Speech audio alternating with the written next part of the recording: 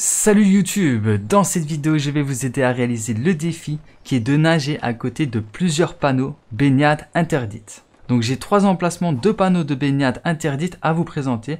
Donc le premier emplacement, il se trouve en dessous de Misty Dome, donc sur une petite île tout en bas de la map.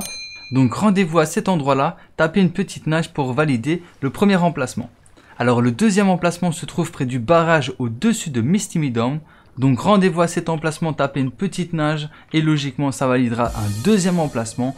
Et ensuite pour le troisième emplacement, il se trouve au-dessus de Lazy Lake, donc juste avant une grosse cascade.